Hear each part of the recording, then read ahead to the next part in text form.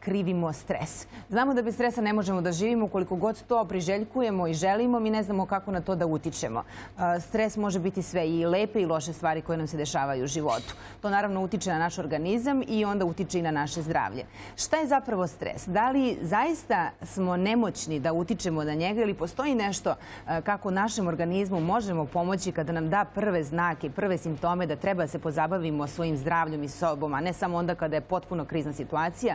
Ovoga jutra govorimo sa doktorima, doktor e, Predrag Nenadić, nutricionista, doktor dobro jutro i dobrodošli. Dobro jutro, bolje našao. I doktorka Svetlana Pejić-Gerić. Dobro jutro i dobrodošli.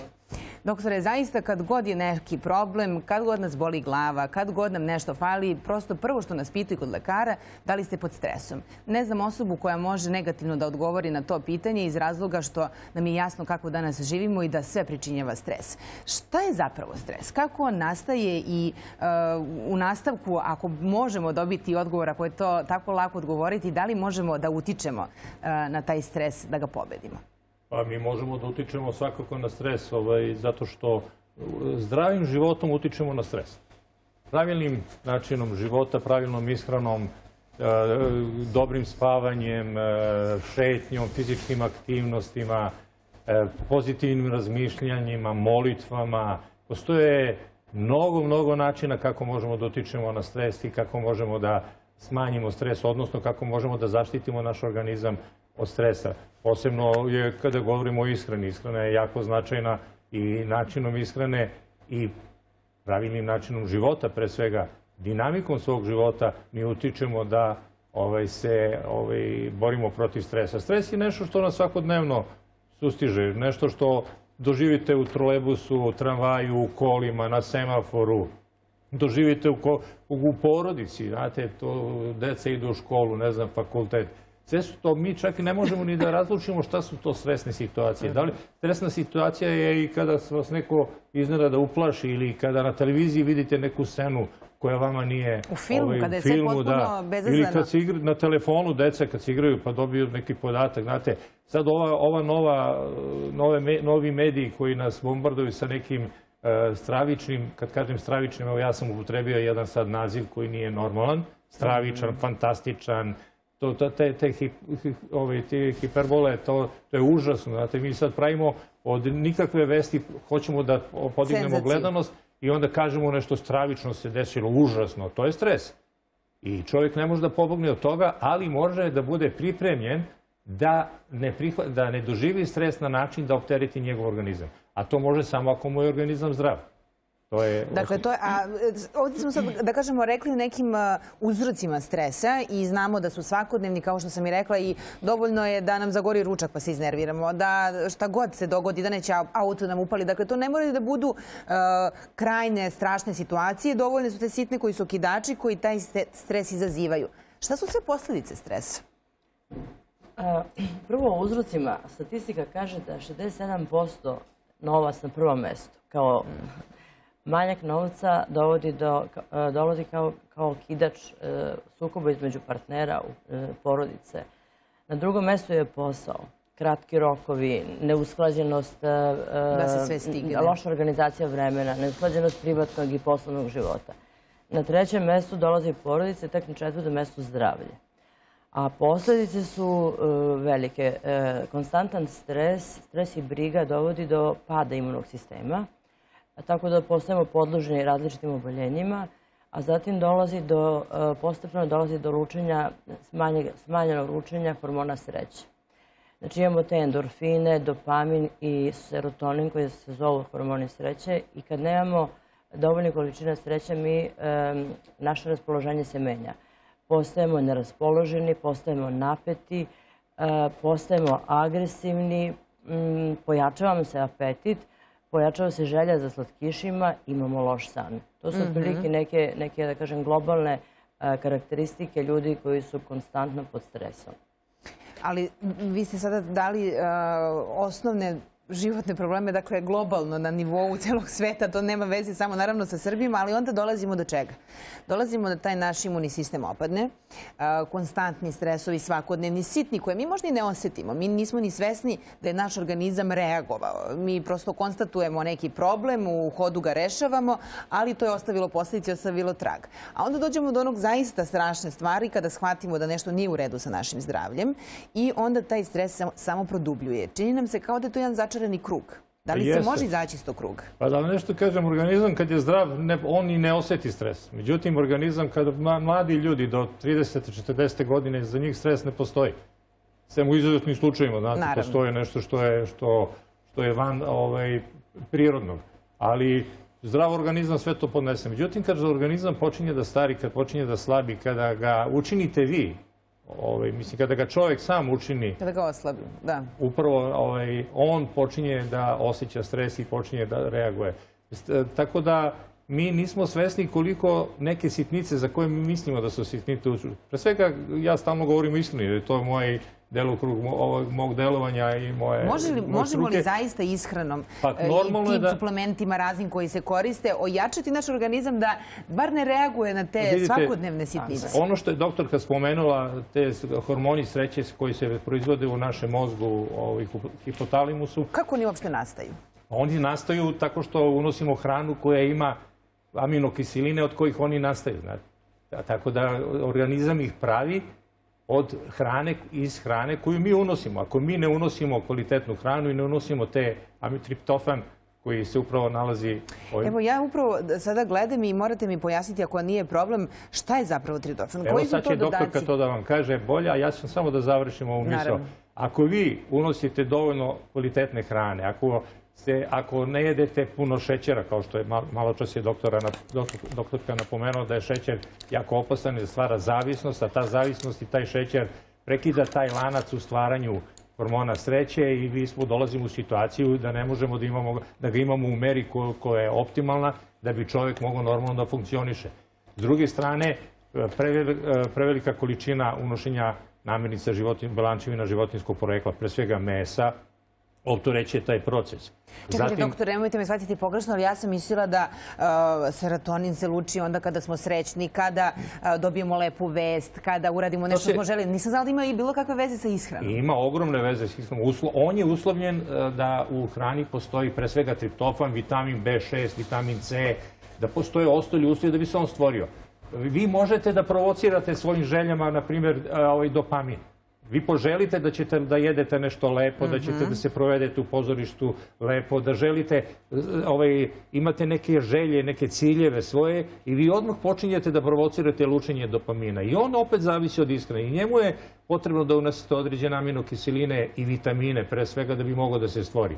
Ali to može i da bude mač sa dve oštrice. Vi sada unesete, vi stvorite taj ovaj, dopamin, ali ako to radite često i preterano, vi onda postanete rezistentni na njega i ne osjećate ga uopšte više. Znači, vi morate stalno u meri koliko je to potrebno da se hranite pravilno, da, da jedete košnjovo voće, da jedete ovaj, bademe, da jedete mahunarke, da pasulj, spanać, da, da ovaj, unosite te namirnice, da, da se lišavate e, bolesnih, e, odnosno nezdravih namirnica kao što su šećeri i tako dalje, da bi mogli da stvorite uslov za, za stvaranje hormona sreće. A doktorku Doktorku ćemo zamoliti da nam objasni... Molim vas, doktorka, da, ovaj... E, triptofan, e, forte, preparat koji ja držim ovdje, evo sad u svojoj ruci, koji je ispred vas, naši gledalci mogu da vide, e, čemu on zapravo služi?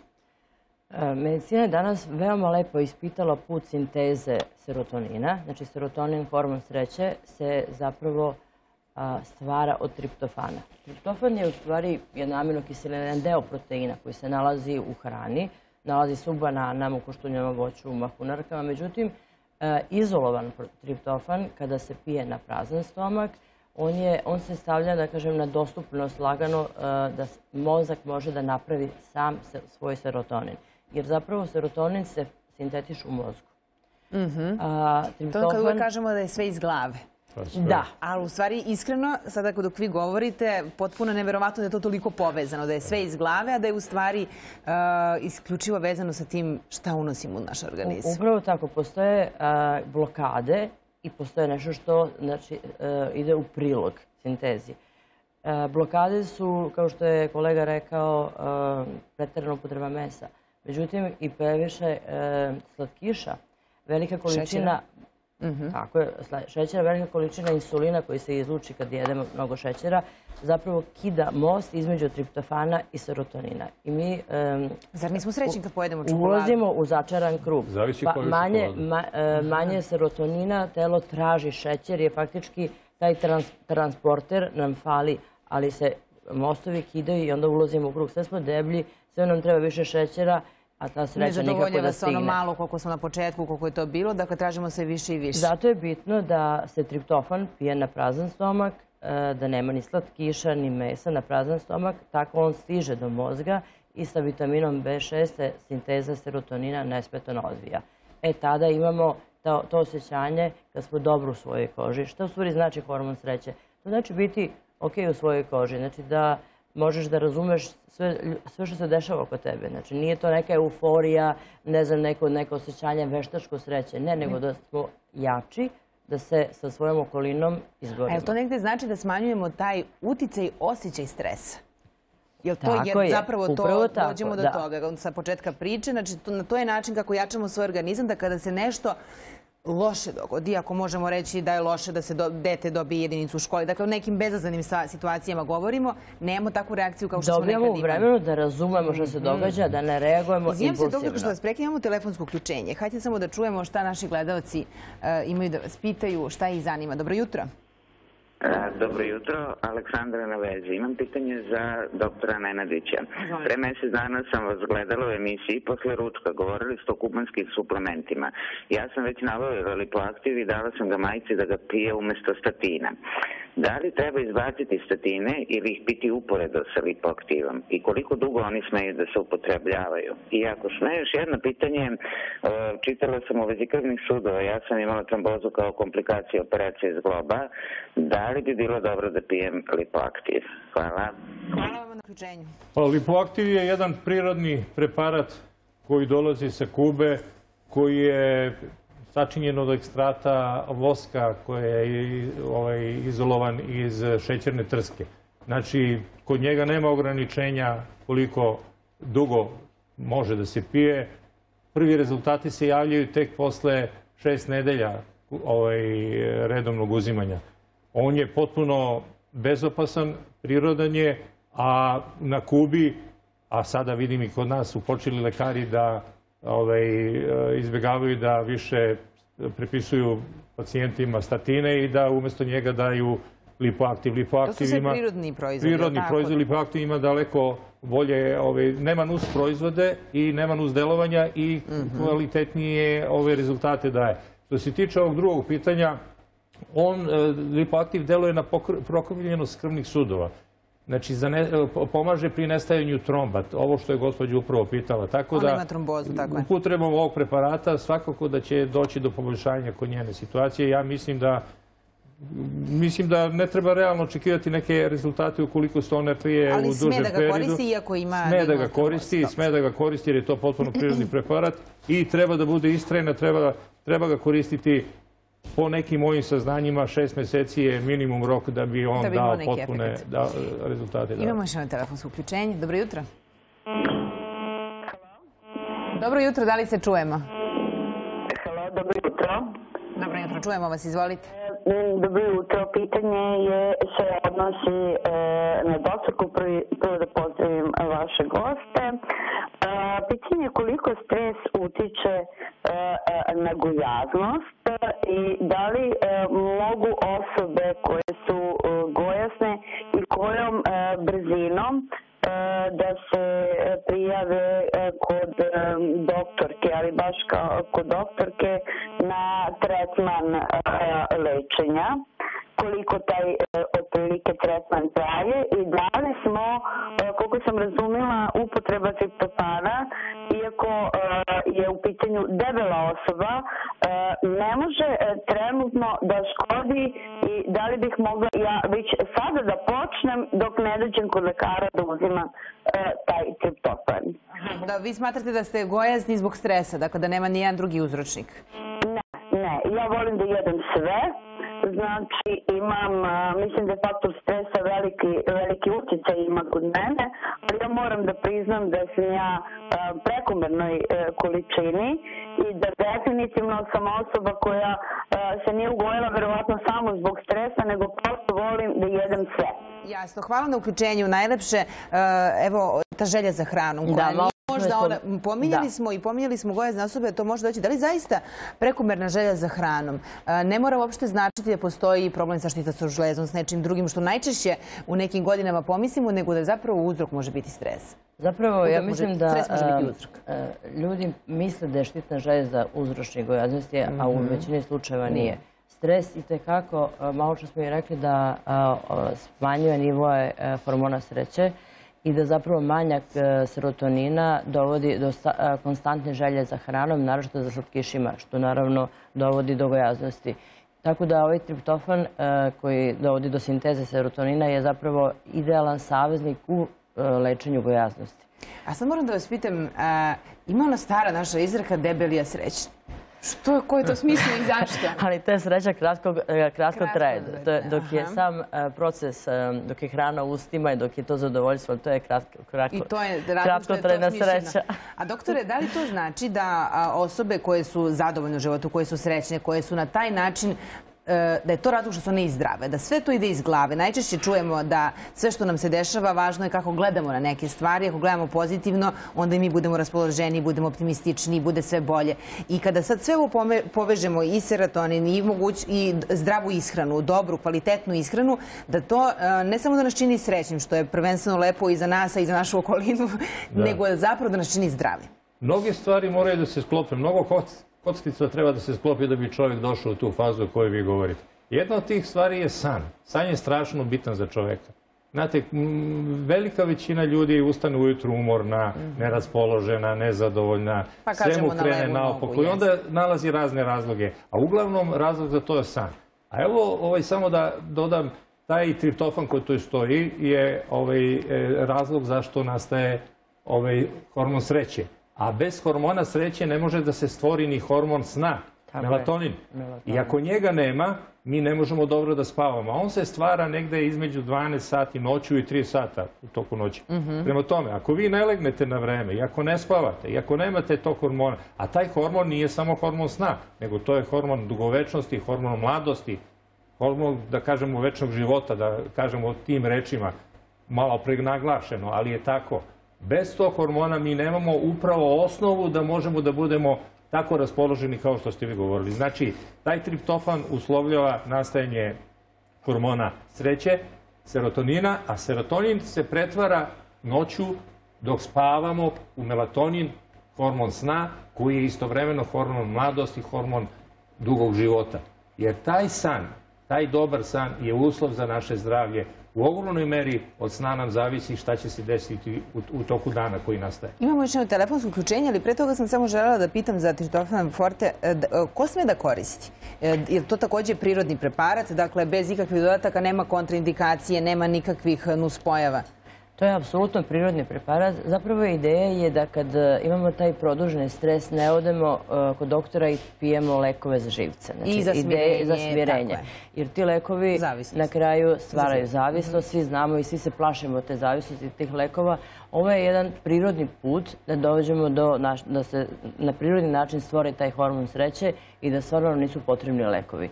E, kontraindikacija nema, pošto je to jedan deo hrane. Znači, triptofan je aminokiselina, deo proteina. tako. Nalazi se tako i tako se nalazi u badevima, u zrnu e, pšenice, u bananama. Prema tome nema kontraindikacija. E, hajde da vidimo ko nam je na vezi. Dobro jutro. Dobro jutro. Dobro jutro, izvalite. Pozdrav za sve u studiju. Moje ime je Slađana i ja bih imala pitanje za doktora Nenadića. Slušamo. Jel me čujete? Da, da, samo pričajte. E, Ovako, ja na doktorovu preporuku pijem već tri meseca kapsule oligogrožđa i moram lično da, da istaknem da sam jako zadovoljna i da se osjećam bolje nego ranije. E, čak se ni problemi sa srcem ne manifestuju. Posebno bih naglasila da bolje spavam i da ne osjećam umor, da sam odmornija. E, moje pitanje glasi da li smem i dalje da pijem kapsule i koliko dugo? Mhm, Oligo grožđe, doktore, mi smo pa evo govorili vidjeli ste, ranije. gospođa rekla da bolje spava i da se bolje osjeća. San je preduslov mnogih ovaj, fizioloških procesa. On jeste sam fiziološki proces, a i on je preduslov mnogih drugih procesa koji se u organizmu dešavaju i uslovljava naše ponašanje. Oligo grožđe je, opet govorimo o potpuno prirodnom preparatu, znači ono je nastalo iz semena i, i opne grožđa, Znači, to je liofilizirani ovaj, proizvod i potpuno prirodan, bogat resveratrolom, percentinom, štiti nas od e, nastajanja ćelija, malignih ćelija, ali posebno što hoću da kažem kad je ovde slučaj ovo što je gospođa napomenula, u ovome oligogrožđu, kapsulom oligogrožđa se nalaze proantocijanidini. To, je, to su polifenoli koji su sastavni deo svih ozbiljnih lekova koji se u svetu danas proizvode za bolesti srca i krvnih sudova. Tako da delovanje ovoga oligogrožđa na naše krvne sudove, odnosno na srce, je izuzetno kvalitetno i zato su ovako rezultati dobri. Moram nešto da vam kažem, da iskoristim priliku. Neki dan me je pozvao jedan prijatelj i kolega, poznati ovaj, naš e, lekar, i rekao, je, kaže, čuj, kaže, neki dan ulazim u jedan restoran i skoči mi jedan čovjek za vrat da me grli i da me ljubi. I ja se iznenadim, kaže, šta je? On viče, spašioce moj, spasioče moj. Šta se desilo? Pa kaže, vi ste me spasli. Kako sam za... Poslali ste me, kaže, kod doktora Nenadića da mi da, kaže, oligo grožđe. Pijem ga već nekoliko meseci i kad sam došao da odem na operaciju koja mu je bila inače zakazana, na operaciju srca, lekari su konstatovali da nema potrebe da se operiše i skinuli su ga sa operacije, sa programa. Doktore, mi najčešće kada govorimo o, kada narušimo naše zdravlje, mi se tada pozabavimo istim. E, ovde kod nas u emisiji često volimo govorimo isključivo o preventivi, o jačanju našeg organizma da ne dođe do nekih većih problema. E, idealan je period. Dolazi zima, ljudi koji imaju bilo kakva bolenja, kad govorimo i o običnim virusima i gripovima koji naravno sada počinju i nastaju, e, kome preporučujete oligogrožje, kome preporučujete uh, triptofen forte, kome preporučujete upravo ove suplemente koji su potpuno prirodni, koji su iz naše hrane koje mi koristimo, a složit ćete se i vi da ne jedemo baš tako zdravo hranu, pogotovo u vremenu da stignemo sve, pa se kupi na ulici, pa se pojede nešto samo da bi se zavarala To glavica. preporučujemo svim ljudima. Nema, nema, nema tu izuzetaka. Znate, pre- kad je prevencija u pitanju, a pogotovo sa ovim prirodnim preparatima kao što je triptofan, kao što je oligogrožđe, kao što su lipoaktivi i tako dalje, a Bexol, oni su, to su prirodni preparati, preparati i mogu ih svi koristiti. Oni uopšte ne uslovljavaju da sad mi moramo da se lišimo nekog drugog ovaj, tretmana da bi ovo koristili. Dakle, i čak i uz terapiju kod neko A vi imate, vi imate vaš ovaj, svako jutra E, vaš molim vas, tretman, ja, a dobro to ste me podsjetili, doktore, ja sam vama to rekla pre emisije, ali voljela bih da podelim a, Blago prirodi, narodna medicina,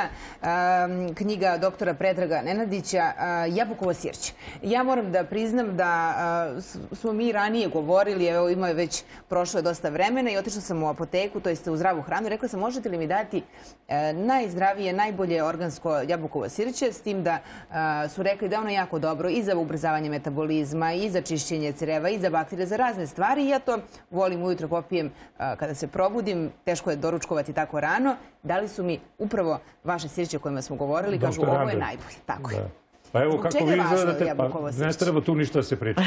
Vi držite knjigu, vas kamera, slika, sve je rečeno. Čovjek se, jel istina ili to možda isto iz glave, evo za kraj, e, kada se probudim ujutru, dakle rano ustajanje, svakome teško pada, bez obzira koliko je na vreme legao i koliko je sna dugo imao. E, čini nam se kada se popije te kašika, e, dve jabukov sirćeta sa mlakom vodom, osjećamo se budnim, probudi nam se nekako organizam, odjednom se nešto bolje od kafe, bolje od bilo kojih drugih onih Pa menja se pH vrednost u, organizmu, znate. Isto kao stres kada se desi čoveku dolazi do toga da ovaj, po- alkalnost po- biva povećana u, u organizmu. Znači, to nije dobro. Uvek mora da postoji ravnoteža, ovo, kiselobazna ravnoteža. Posebno se poveća alkalnost u mokraći. Kada popijete jabukovo svirće, vi tu alkalnost izbalansirati i mokraća postaje ponovo blago kisela kao što i treba da bude prirodno. Tako je i sa drugim, ovi, sa svim ostalim prirodnim preparatima koji, o kojima danas govorimo, koji bitno utiču na fiziologiju i na telesnu hemiju u našem organizmu, jer jedino na taj način može da dođe do promena i da se osjećamo dobro i kvalitetno. Dakle, jabuku osjeća puno blagodeti. Molim? E, Za razne stvari je dobro, Pa između ostalo ja koristim za Znate, buđenje. jedan, jedan, jedan uslov postavlja sljedeći uslov. Doktor je divno govorio, triptofan, da nije njega ne bi bilo serotonina, da nije serotonina ne bi bili zadovoljni. Mhm. Ako nismo zadovoljni imamo mnogo problema. I tako, a najvažnije u pijemo- svemu što kada govorimo o Da. ovome je važno da budemo zdravi. To je negde a, osnova svega. Doktor, doktore, doktorka, hvala vam najlepše na a, ovom gostovanju. Dobro ste čuli, preventiva je zapravo najvažnija od svega, potpuno prirodni preparati, da ne morate baš da vas grize savest iako poje